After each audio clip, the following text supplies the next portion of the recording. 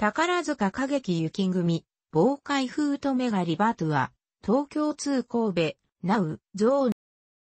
2020年4月30日から5月10日まで、東京、文京シビックホール。5月23日から28日まで、兵庫、神戸国際会館国際ホールで上演され。作、演出を、斎藤義正が手掛ける、ナウ Now、Zoom ME は、防海風トによるコンサート。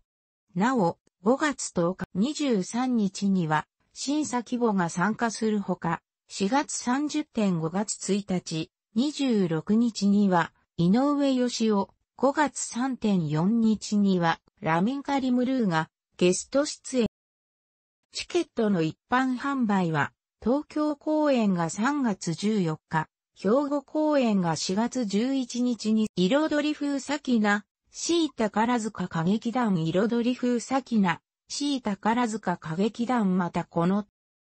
彩り風咲きなが主演を務めるミュージカルロマン、炎のボレロ、ネオダイナミック、ショー、ミュージックレボリューション、ニュースピロットマイナスが5月2日から26日に全国各地で上演されることも発表された。柴田優子が脚本、中村明が演出を手掛ける炎のボレロで1860年代のメキシコを舞台に政府への復讐に燃える青年貴族が描かれ